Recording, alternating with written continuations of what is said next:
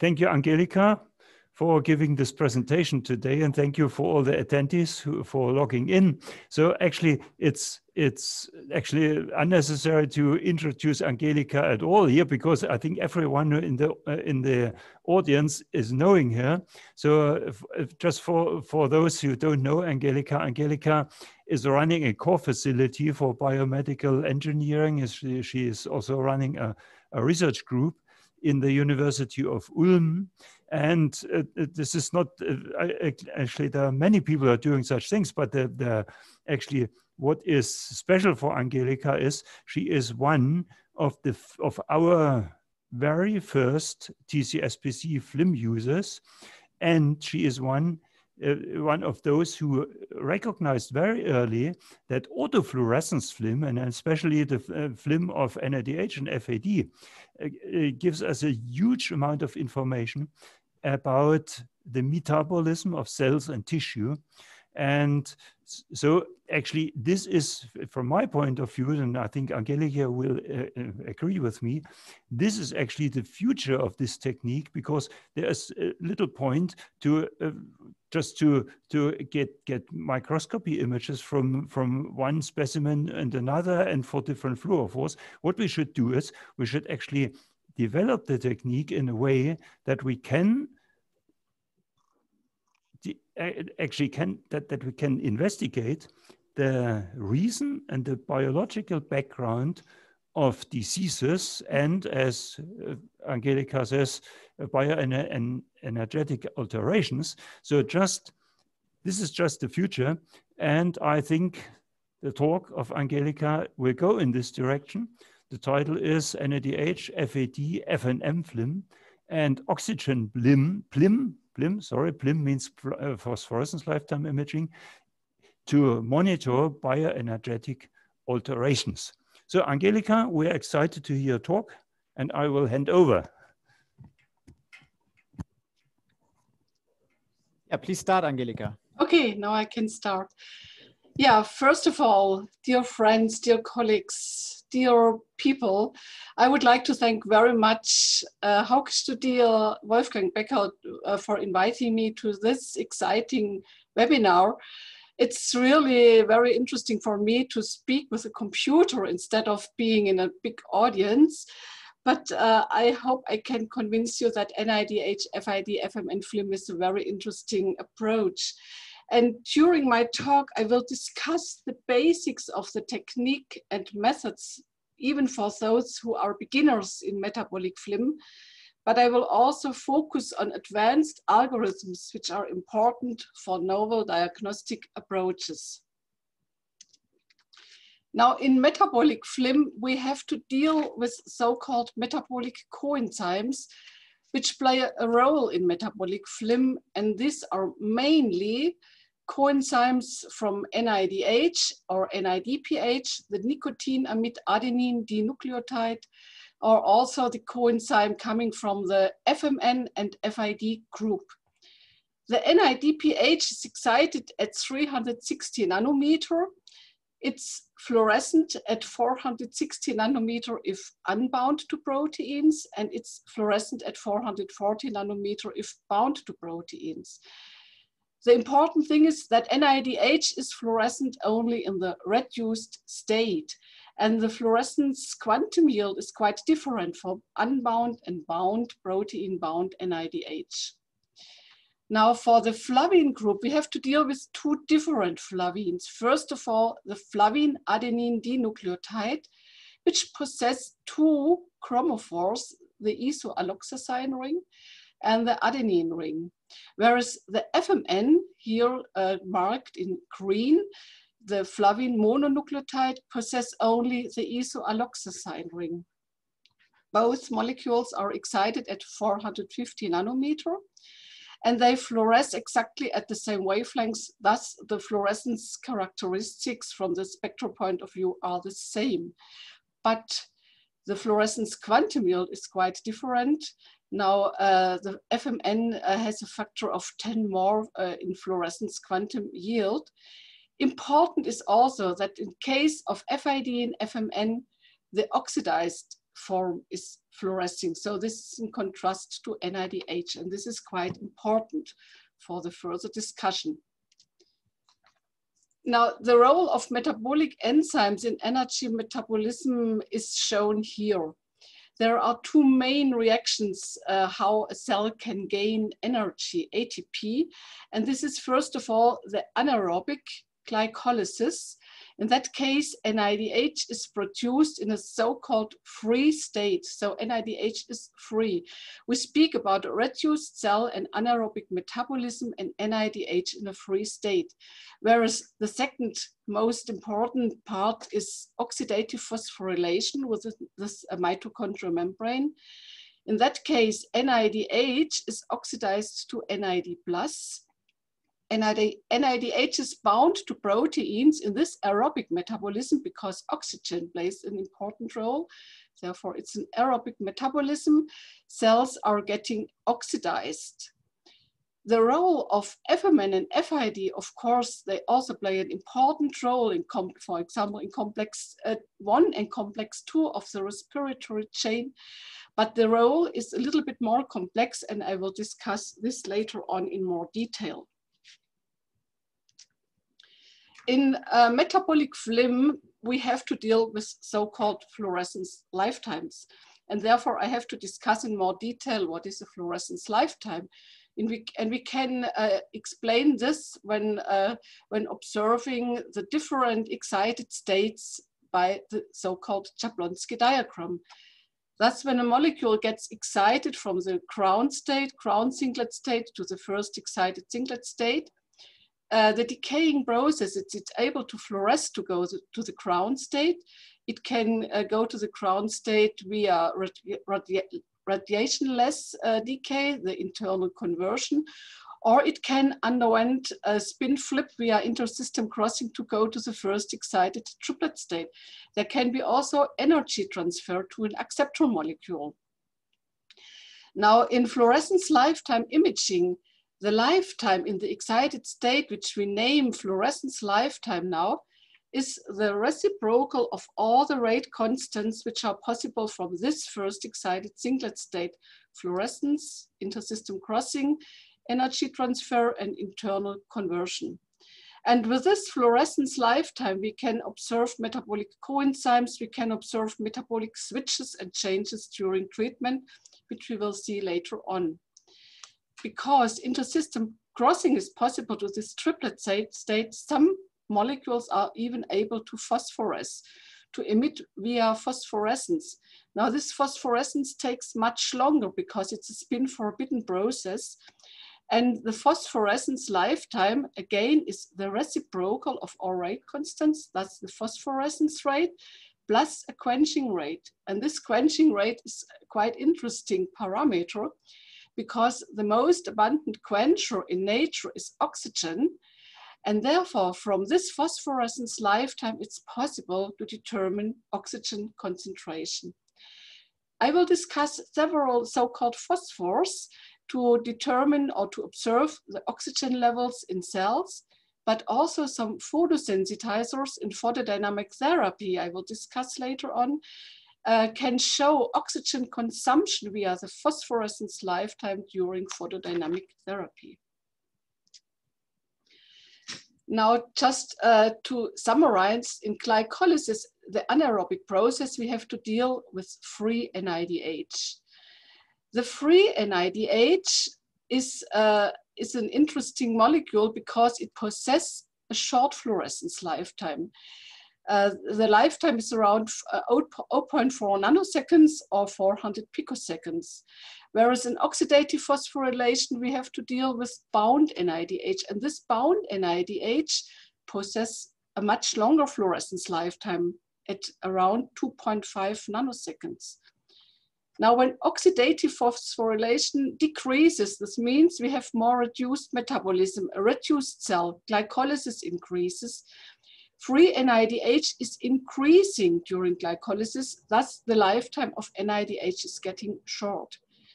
Whereas when glycolysis decreases, the cell is getting oxidized, oxidative phosphorylation is increasing, NADH bound NADH is increasing and the lifetime of NADH is getting long. So in fact, what we always measure is always a mixture between free and bound NADH. Thus, by inspecting or by calculating the fluorescence lifetime, we always have to deal with the so-called mean fluorescence lifetime, which is a mixture between the short fluorescence lifetime and the long fluorescence lifetime and the appropriate weighting factors, so-called amplitudes A1 and A2. Now, what happens with FAD? This I would like to discuss later on. It's always a question if FAD and also FMN, if they are bound or not bound when oxidative phosphorylation is increasing or decreasing. The last molecule, which is quite important in the last step of the respiratory chain is of course oxygen. This is an aerobic process. In this last step, oxygen is reduced to water. And what a nice idea to have a method to observe this oxygen, to observe this oxygen consumption. And uh, we will see it later on. Phosphorescence lifetime imaging is a nice technique to observe oxygen and also oxygen consumption. In metabolic FLIM, it's always a question if the redox state, which is an important parameter, and energy metabolism are really correlating. Now, what means the redox state of a cell? The redox state of a cell is defined by the redox ratio, which in fact is the ratio between reduced NADH and oxidized NADH, thus the NAD plus. But because of NAD plus is not fluorescing, approximately, yes, in 79, so 41 years ago, Britton Chance, he defined the so-called optical redox ratio, replacing the not fluorescing NAD plus by the fluorescing FAD plus. That's from this we can def define and calculate the so-called redox ratio. Now, when the cells get reduced, we have a, red, a, a redox state which is re reduced. The redox ratio is getting high and because there's a lot of NADH, the fluorescence of NADH is also high.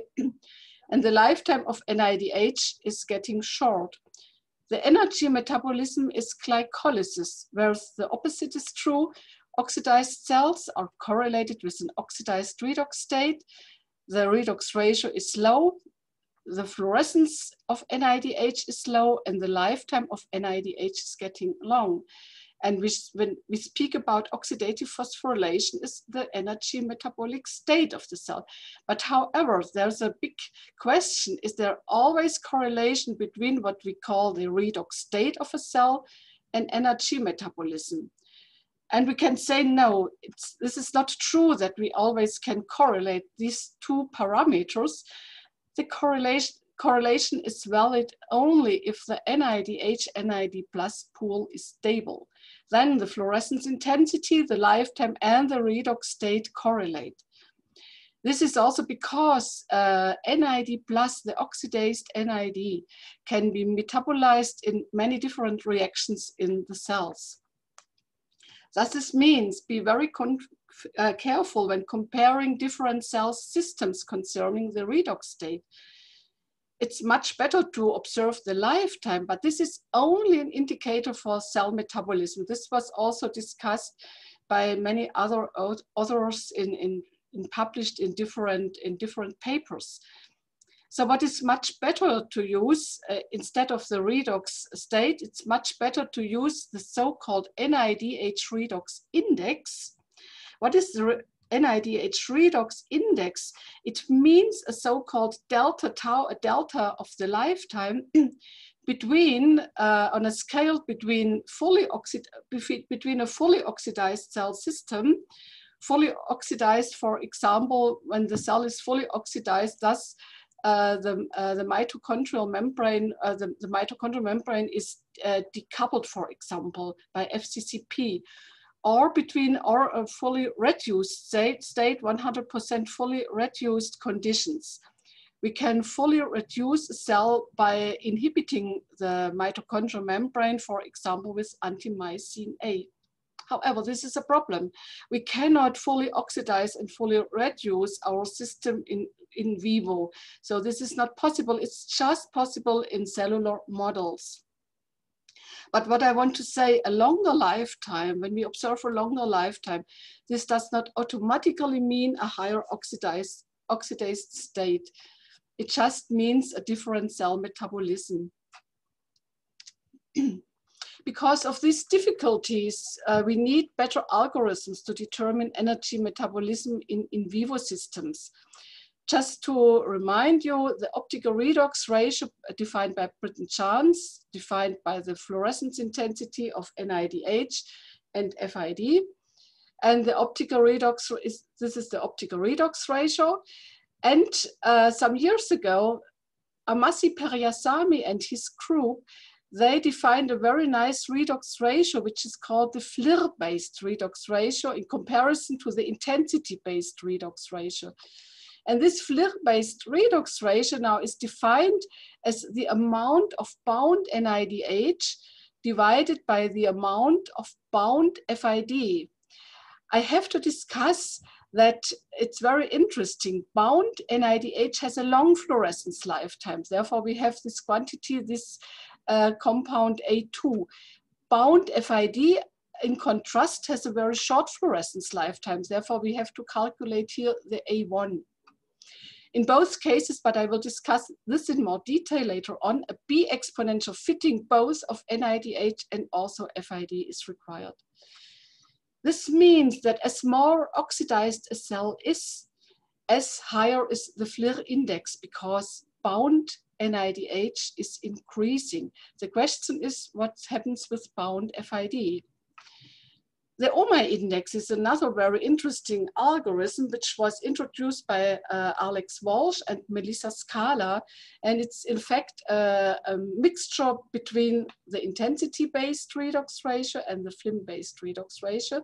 That is the intensity normalized redox ratio and the mean lifetimes of NADH and mean lifetimes of FAD. Another very interesting uh, index uh, which I name the NADH metabolic index, not to confuse with the NADH redox index, which I defined one slide before. Thus, the NADH metabolic in index on a FLIM-based in a FLIM-based manner relates free NADH with a short fluorescence lifetime to bound NADH with a long fluorescence lifetime. Of course, also in this case, B exponential fitting of the fluorescence lifetime is required.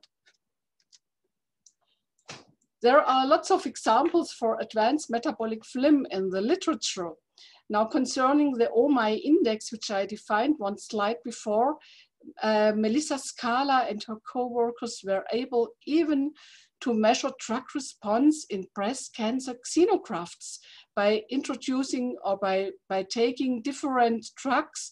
And they could see that these xenografts responded very well when the OMI index went down.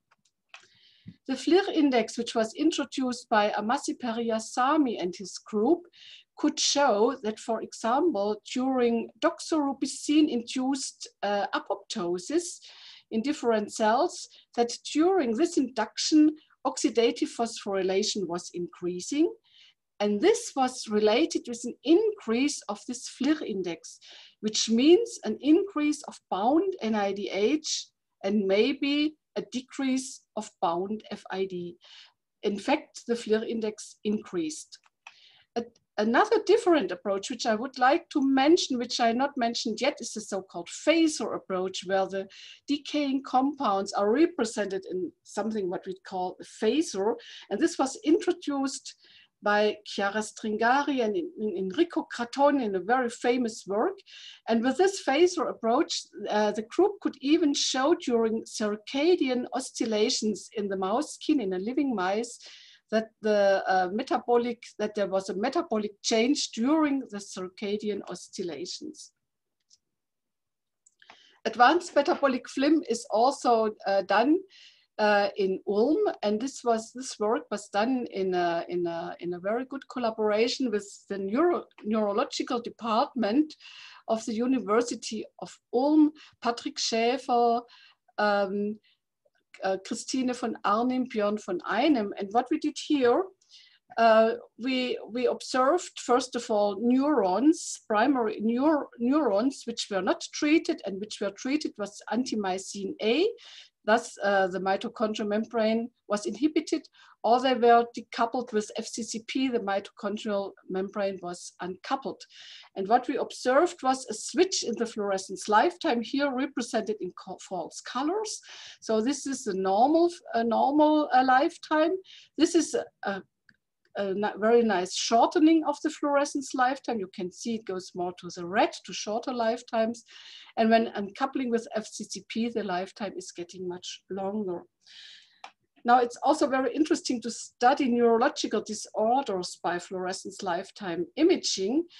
And uh, for this, uh, we used normal hex cells, which were not treated with anything. And you see here the fluorescence lifetime inside a single inside the mitochondria of the cell, represented again in false colors.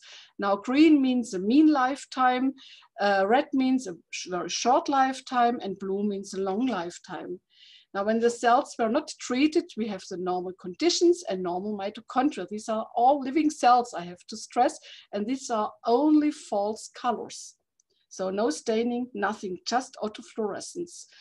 Now, when these hex cells were overexpressed with APP, uh, which is a transmembrane protein in the mitochondrial membrane, which upon cleavage gives rise to A beta, A beta, which, uh, which goes to the complex one of the respiratory chain, of the inner respiratory chain, and inhibits the respiratory chain reaction, we could nicely see a switch towards different to another uh, metabolism Thus, the fluorescence lifetime was getting much shorter of NADH. Whereas when, uh, in addition, this cell was, uh, was transfected with a secretase inhibitor, with an inhibitor for this cleavage process, we got again normal conditions. Patrick Schäfer, in a nice work, he also has shown that in fact, we have also to correct the NADH lifetime uh, for the pH, which can change in the mitochondrial matrix during uh, metabolic changes. Um, I also would like to like to discuss the NADH metabolic index, which I defined as uh, the relation of unbound NADH divided by bound uh, NADH. In a, in a very nice work by, uh, by uh, Hauke Studier and co-workers, these people could show that here in a non-invasive uh, melanoma uh, progression model, uh, they could show that in, a, in the skin where a tumor was uh, growing underneath the skin. Here is the normal ear skin of the of a mice, and here is the tumor is the tumor development. That in the skin overlaying this tumor, that the uh, that cell metabolism ch was changing.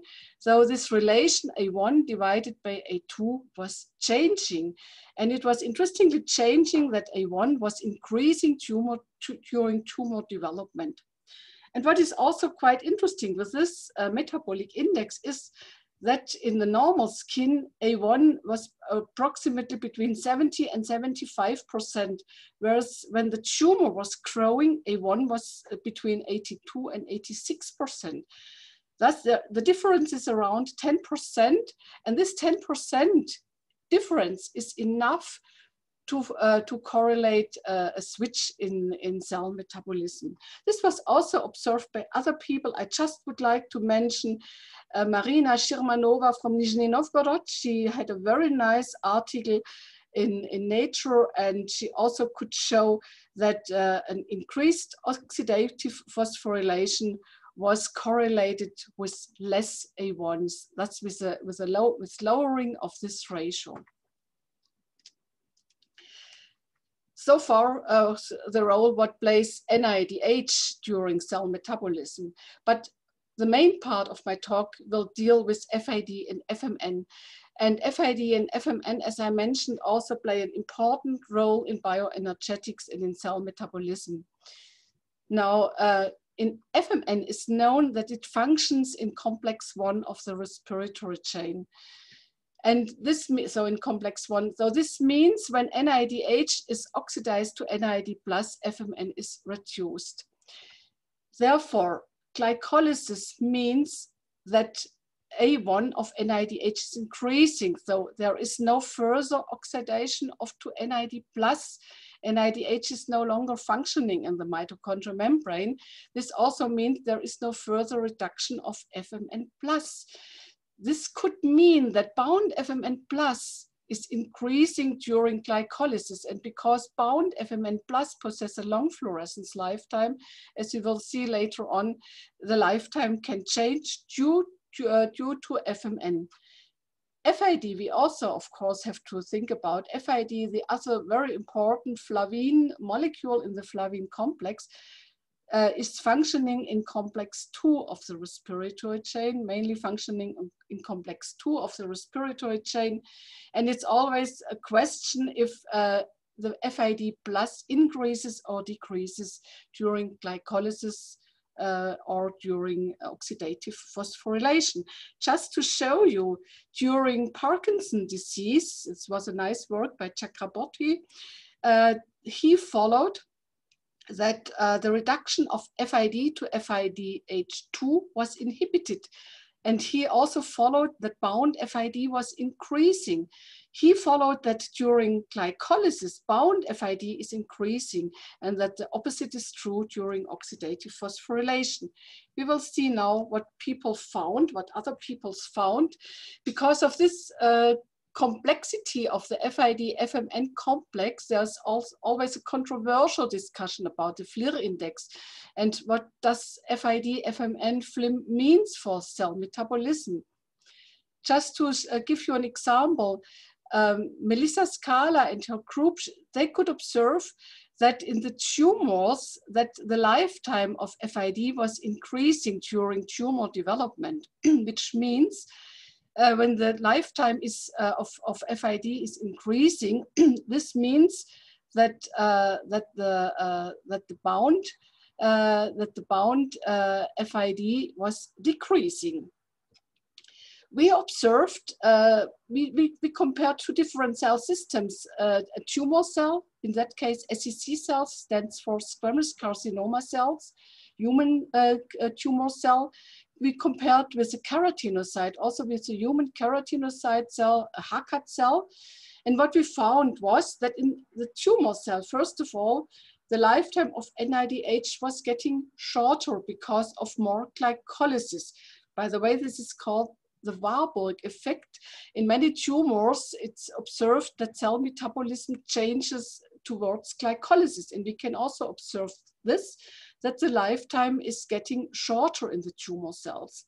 Whereas in the HACAT cell, the lifetime of NADH is getting longer. Now, what happens with FAD? In case of FAD, you can see it also here in our keratinocytes, we have a long fluorescence lifetime. Whereas in our cancerous cells, we also have a short fluorescence lifetime, a shorter fluorescence lifetime of FAD. And these observations are completely consistent with which was defined as the FLIRR index. But other people observed opposite, opposite uh, values and which is not really consistent with the FLIRR index, but we have to know that in some cases we also observe negative Warburg effects. Also, and that's what I want to discuss now, we have also to, to deal with FMN. Um, when dealing with FMN, we have to think about the quantitative flavine contents of in different mammalian cell lines. And there is a, a list of different mammalian cell lines. I have this from the literature. And you can see here, of course, the content of FMN is less than the content of FAD.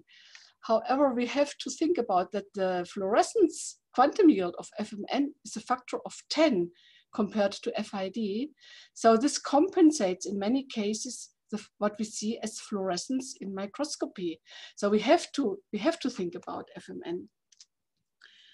Now I would like to come to our own experiments to advanced NADH, FAD, FMN FLIM and our experimental conditions, how we are doing this. I will discuss two cell uh, types, uh, as I mentioned, human keratinocytes and human uh, squamous carcinoma cells. What we are doing is we have a conventional laser scanning microscope uh, and for, for advanced metabolic FLIM, we have to use a short pulsed laser to excite the fluorescence. In that case, we are using a femtosecond pulse titanium sapphire laser for two photon excitation, which we also use as a short pulsed excitation source. Uh, the fluorescence lifetime is detected in a two channel TCSPC. TCSPC stands for time correlated single photon counting. In a two channel TCSPC system, uh, which consists on two hybrid detectors, thus to, uh, thus to, to allow simultaneous detection in two different spectral channels, for example, FAD and NADH simultaneously or other dyes. The electronics, the TCSPC electronics was very, very well explained in a webinar before by Wolfgang Becker. So I would like to advise you to see, to go back to this webinar because it would be too much if I discuss this here again. But what I want to uh, say, for two photon excitation, we are using the following wavelengths for excitations. For, FI, for NADH, we use wavelengths between 740 and 780 nanometer for excitation. So this is two photon. For FAD FMN, we are using 880 nanometer for two photon excitation. We detect within two spectral regions with the two uh, type right detectors. And for NADH, we are yet using a channel around 432 nanometers. And for FAD, FMN, we are using 530 plus minus 20 nanometers. So we are pretty sure that with this excitation and detection conditions, we can nicely separate FAD from NADH. Now we tested different fitting procedures. And when we, uh, and after, I have to, I have to uh, explain that after excitation with a short pulse laser, we are detecting the fluorescence intensity decay and we have to fit this intensity decay to an exponential curve, a decay curve to get the fluorescence lifetimes. So this is an uh, example for a multi-exponential decay. But in case of NADH, what we are doing, we are normally uh, doing a so-called bi-exponential decay fitting, which gives us the lifetime and the amplitudes of free NADH, the short lifetime, and the lifetime and amplitude of bound NADH with a long lifetime. In case of our FAD FMN complex, we found because it is a very complicated complex, we found that it is best to do a three exponential fitting where we got for the bound FAD for the short lifetime and uh, the amplitude for the short lifetime, this relates to bound FAD. We also got the, uh, the, the, middle lifetime, which correlates to free FAD with, the, with, the, with uh, the uh, uh, amplitude of free FAD. And also we can calculate a very long lifetime, normally around six, between five and six nanoseconds. And this lifetime correlates uh, to FMN uh, with the appropriate uh, amplitude. Now, what we are normally doing, we tested different fitting procedures and what, what was the best fitting was, uh, the best fitting for NADH was when we fixed the lifetime tau 1 and tau 2 to 400 picoseconds and 250 picoseconds. Then we got the best fitting result for A1 and A2. For the flavins, we also tested different fitting procedures and the best fitting was done uh, when we when we had a free fitting and what we got with a free fitting we got a short lifetime around 0.3 nanoseconds which relates to bound FAD, a, a, middle lifetime between 1.7 and 1.9 nanoseconds, which relates to free FAD, and a very long lifetime, as I mentioned, uh, between 4.5 and 5 nanoseconds or 6 nanoseconds, which relates to FMN. And this is bound FMN because it's very interesting. Free FMN has the same lifetime as free FAD, more or less. Now we did uh, several cal different calculations uh, for FAD, FMN, and FLIM in our cell system in the SCC uh, cells versus the HACAT cells with different fitting procedures, with free fitting, with fixed fittings. And what we observed was in every, for every fit for the FAD, FMN complex, the lifetime, the mean lifetime was significantly different for the HACAT cells and it was always longer for every fitting procedure. Um, which means A1 the uh, bound FAD was decreasing in the HACAT cells, whereas bound FMN was increasing in the HACAT cells. And the, the results were, were always uh, statistically significant. So we have, we also calculated the statistical uh, significance. So we correlate that bound FAD decreases in our HACAT cells and bound FMN increases in our HACAT cells, which correlates to increased oxidative phosphorylation. Now we did something else. We calculated the relative fluorescence intensities of our different compounds of bound FAD, of free FAD, and of bound FMN, because we wanted to know from from which fluorescence comes the most signal. And interestingly, when we calculated these Q values, which give us the relative fluorescence intensities, when we calculated these Q values, the highest amount of fluorescence comes from FMN in our, in our, uh, in our microscopic image. This does not auto automatically mean that FMN has the highest uh, uh, quantity, but it gives rise to the highest fluorescence quantum yield, what we can see here. And there was also a significant difference, especially for, uh, for this fluorescence intensity in the FMN channel.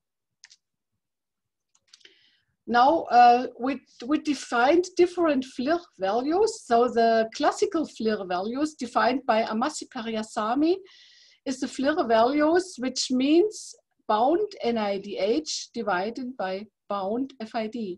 But because we are doing a three exponential fitting procedure, we can also define FLIRR2 and FLIRR3, which is bound NADH divided by free FAD and bound NADH divided by uh, bound FMN. And interestingly, we compared all these different FLIRR indices during the different fitting procedures with the very important NADH metabolic index, which is just bound NADH divided by, uh, sorry, free NADH divided by bound NADH. And what we observed when, when, when calculating the significance of our result, here you can see the p-values, that the most, the statistically most significant value was reached for the FLIRR1 index, which correlates to the classical FLIRR index defined by Ammasi Periasamy. So for, for this index, we just got the highest significance. Now we wanted to see if we can see the same, uh, the same observations in co-cultures. So we did some uh, co-culturing experiments of our SCC4 and HACAT cells.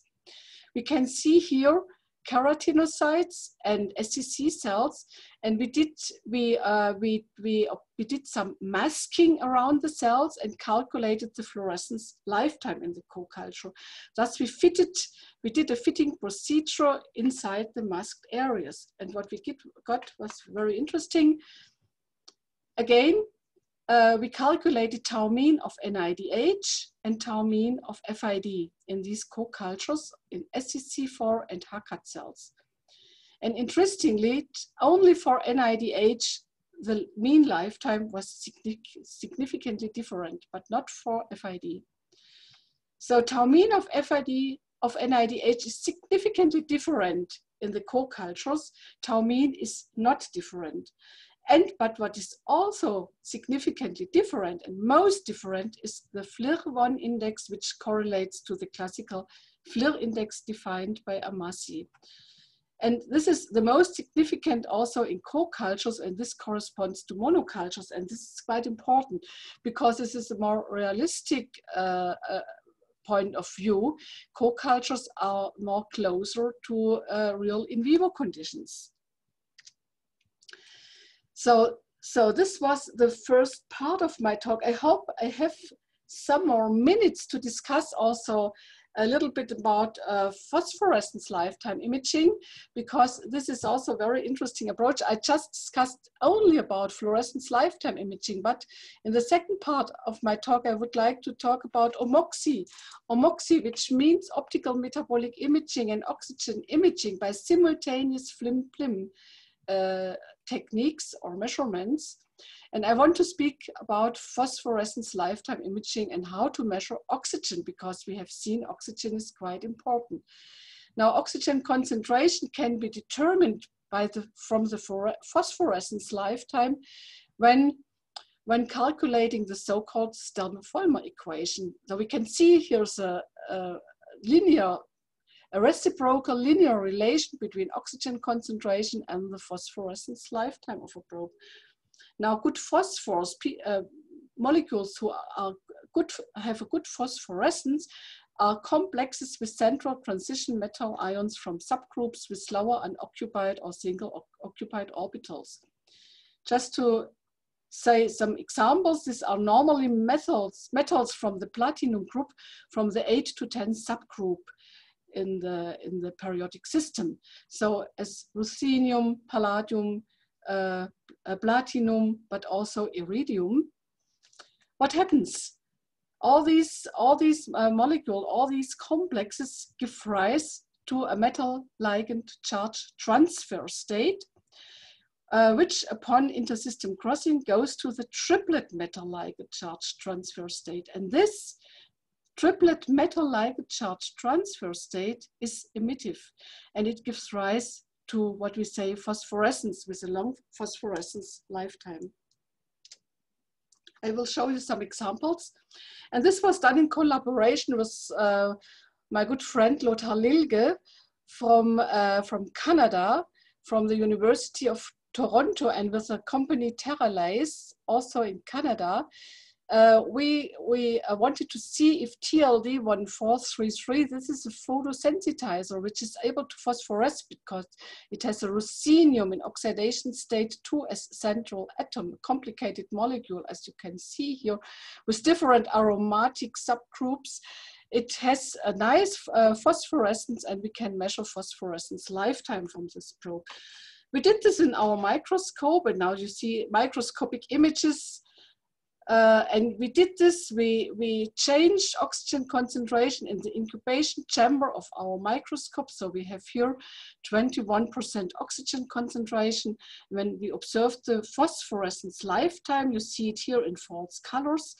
And then we, we induced hypoxic conditions, so 1% oxygen in the incubation chamber. And what we observed was a dramatically increase so a significant increase in the phosphorescence lifetime of our cells because oxygen concentration was very low and the phosphorescence lifetime was very nicely increasing. So the photochemistry of this TLD is quite complex and as I mentioned, it is a photosensitizer. So we just have to think about, of course, we have to think about this triplet charge transfer state, which gives rise to the phosphorescence by uh, emission and, and uh, decaying to the ground state of, of the ML of, of this TLD. But because it's a complicated molecule, uh, this uh, TLD also possesses different other triplet states, for example, an intraligand triplet state or a metal-centered triplet state.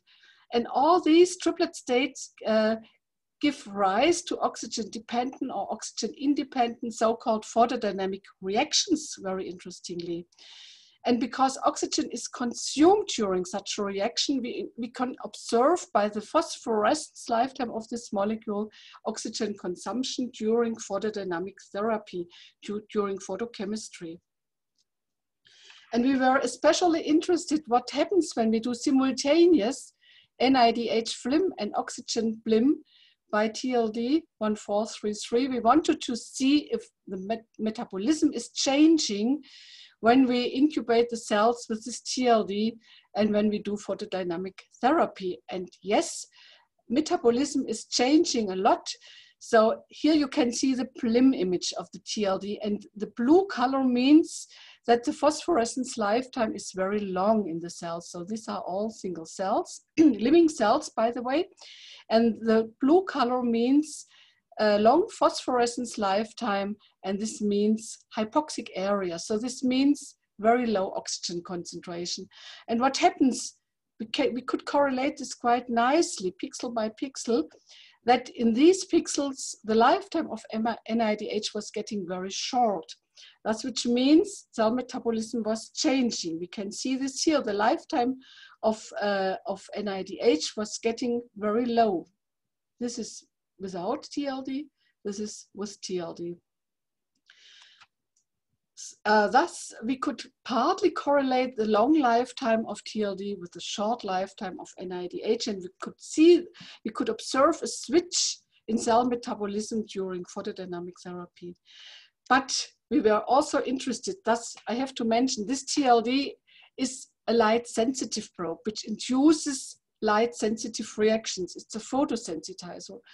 We also wanted to see what happens with so-called inert molecules, which do not change during light activation, which are not known as photosensitizers. Can we measure stable oxygen concentrations uh, with those probes. And for this, we, were, we used a different probe, an iridium complex. And this was done in collaboration with the university in St. Petersburg. Um, Ilya Kritchenkov, he came to our institute, he came to our university. He comes from the institute, from the Chemical Institute of St. Petersburg, and his boss is Professor Tunik, and we got to have a very nice collaboration uh, with this group and they uh, uh, they um, developed this called ASK1 complex, and we incubated this ASK1 in our cells. And what we observed with ASK1, uh, when uh, when uh, the when oxygen uh, was normal, so we had a high oxygen concentration in our, incuba in our incubation chamber. Uh, the phosphorescence lifetime was short, whereas when we induced hypoxic conditions, the phosphorescence lifetime was low, was very low. So comparable to what we observed for TLD. But now, interestingly, when we observed simultaneously NADH FLIM during PLIM of ASK1 under normoxic and hypoxic conditions, we did not observe a change in the fluorescence lifetime of NADH, and this reflects the stable molecules, molecule ASK1. Thus, ASK1 does not induce a phototoxic reaction. It's not a photosensitizer. We can just measure uh, the phosphorescence lifetime and the oxygen concentration inside the cells. And our uh, cells uh, are staying very stable. This is very interesting. Now, I did not speak yet about the technique of simultaneous flim plim, but this was also explained very nicely by Wolfgang Becker, but just I want to mention it briefly. So we are doing this again in our laser scanning microscope here in an LSM 710 from Zeiss, we coupled short pulsed lasers. We are mainly using a Mai Tai titanium sapphire laser with 80 megahertz repetition rate, which uh, has pulses in the femtosecond uh, range. We are doing two photon excitation. And how can we do simultaneous FLIM, PLIM detection? PLIM has a much longer lifetime. Phosphorescence lifetime is much longer than the fluorescence lifetime. Anyhow, we can do this simultaneously. We are doing this in a way that we modulate our laser, our titanium sapphire laser with an AOM. This means that during the on phase of the laser, we are measuring the, phosphor uh, the, sorry, the fluorescence lifetime of NADH in the NADH channel. The phosphorescence of our phosphor is built up. And during the so-called off phase of our laser, we are measuring the phosphorescent photons, the phosphorescence lifetime. It looks like here. So, and in the phosphorescence channel, we have to define a rectangular uh, into an uh, IRF, so instrumental response function.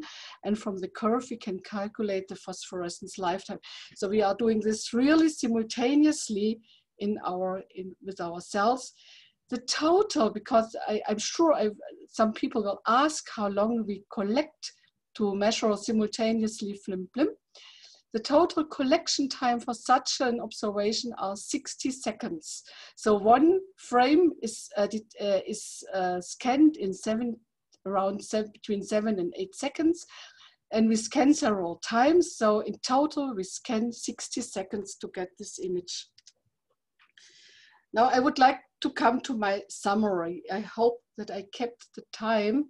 I discussed in my talk, and I hope I could convince you, that functional imaging with time-resolved luminescence microscopy, especially FLIM and PLIM, is interesting to investigate cell metabolism, the redox state, and oxygen sensing in cell biology, in molecular medicine, and in diagnosis.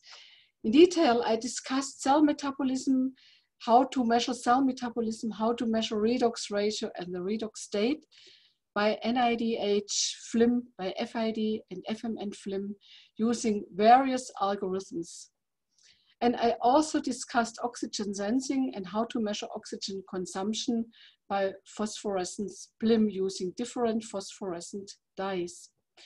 Omoxi, which is both, was, is, was discussed to be used as simultaneous flim plim to analyze cell metabolism and oxygen.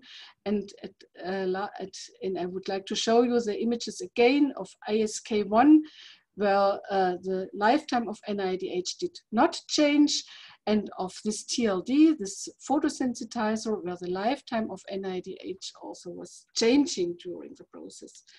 And in my last slide, I would like to acknowledge people who have done all this work. So that's, of course, me.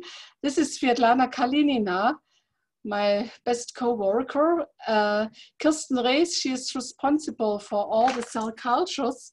And Nilanjon Naskar, he did all these nice calculations. He's also helping me with all these IT techniques, and I hope that uh, my talk was functioning well. I would like to mention all my co-collaborators. Uh, the neurological department, Björn von Einem, Tim Eiseler from the internal medicine department at the University Ulm, Lothar Lilge from the University of Toronto, Ilya Krichenko from the University in St. Petersburg, Ronald Sroka, Christian Freymüller, Patrick Schäfer, all these nice people. Without them, uh, we would not be able to, to do all this, all this work. And of course, I would like to mention the, fu the funding, most important funding of this Omoxi project.